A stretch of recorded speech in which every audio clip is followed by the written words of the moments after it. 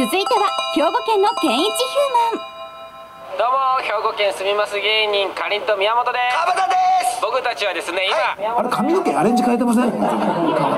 めっちゃくちゃ脱色しましたね。三木市のアイドルグループがいるらしいんですよね、はい。これご当地アイドルってごいう。当地アイドルアイドル山田さんもう見る目がないですか？ら、はい。ああいこれぜひ紹介したいなと思います、はい。それでは早速いきましょう。してんな宮本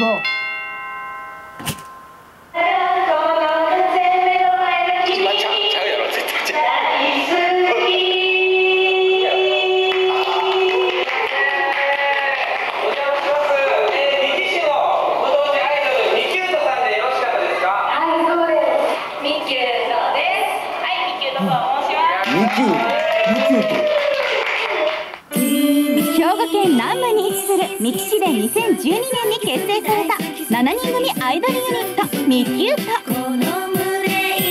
三木市を元気で明るい街にするため市民と触れ合いながら PR 活動を行っているんです。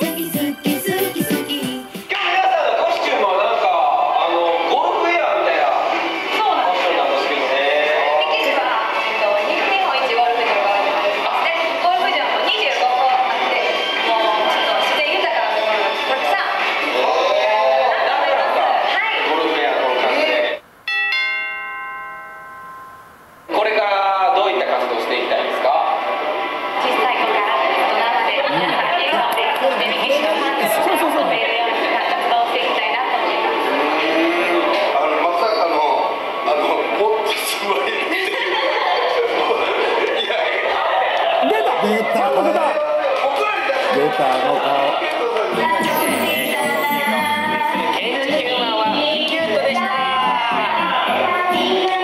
うーん。ねえ。えーオチをファンの方に全て持ってかれました。川田君あそこだけでしたねあそこだけですよね。えっと面白い人に気づいたっていう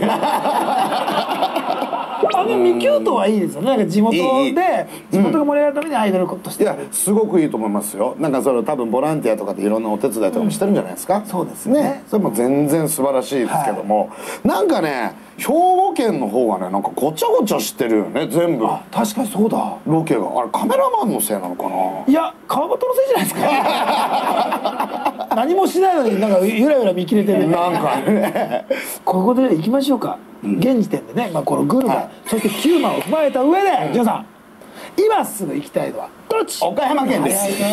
そう。やっぱり今んとこは岡山県ですよ。やっぱかりんとうのとこはなんかな。なんかごちゃごちゃしてんだよな。あとあの川端があの脱色してきたっていうね。いや本当にね。そんな暇があったら口を閉じなさい オープニングもなんかず ずっと呼吸困難なんですよなんかね。でねさっきアイドル見てる時ずっと寝そうなんですよ。こ